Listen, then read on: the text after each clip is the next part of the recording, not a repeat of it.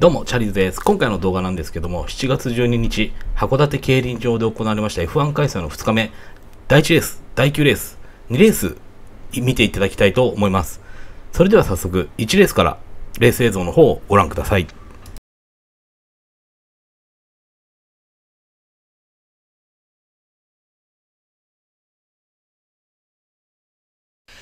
後ろは2番の三岡義弘をマークして愛知コンビ、まず動きまして残り2周を切ります。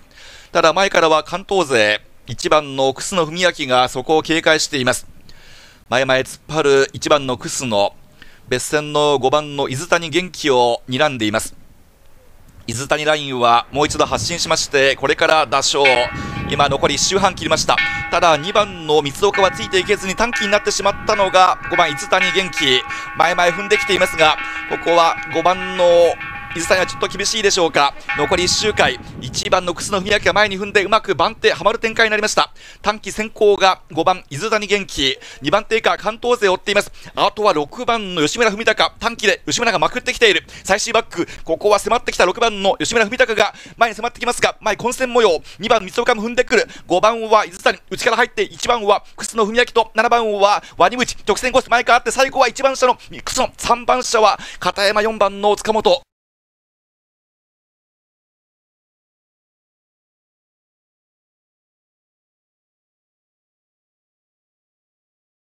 なんていうか、もうラインがぐちゃぐちゃで、もうわちゃわちゃしてるレース。まあ、車検買ってなくて、ただ見てただけなんですけども、めちゃくちゃなんか面白かったなと思って動画にしてみました。まずは、楠野選手を伊豆谷選手がかましていった時に、2番車三岡選手が離れてしまった。ここから全てが始まりました。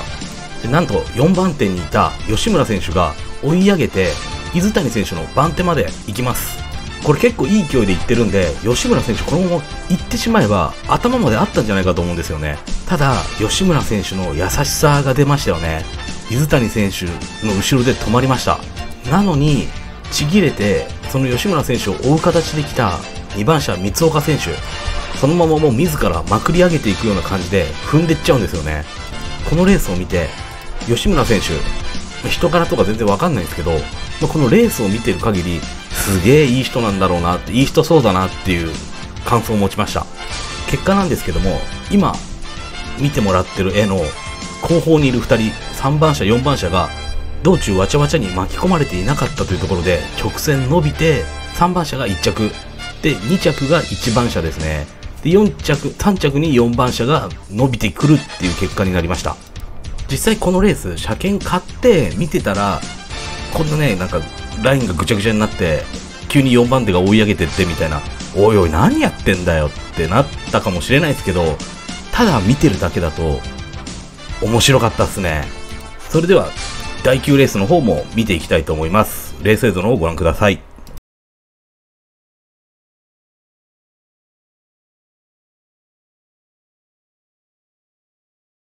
残り2周を切ります。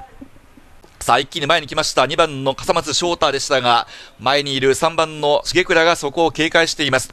突っ張っていまして、再度前段中部勢、後ろの関東勢を睨んでいまして、もう一度2番の笠松翔太が上がってきました。まもなく打賞です。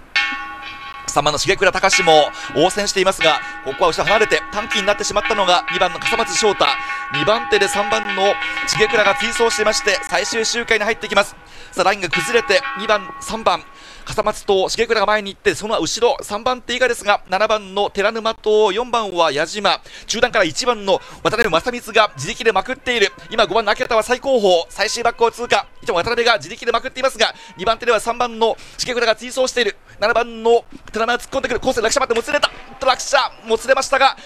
最後は2番の笠松翔太、今合輪です。7番寺沼、5番は開けた。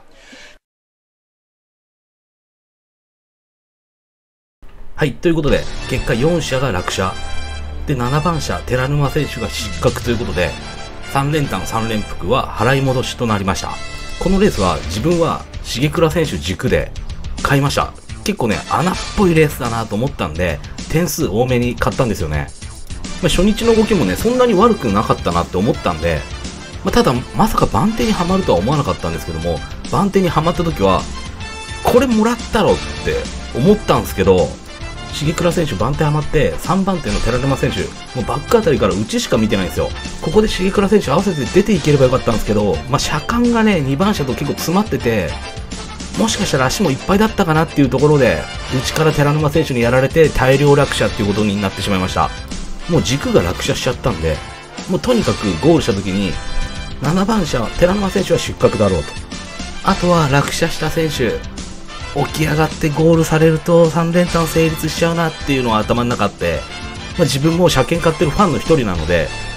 まあ、外れるのは嫌ですよね。なので、申し訳ないですけど、落車した選手は、もうそのままゴールしないでくれって思ってました。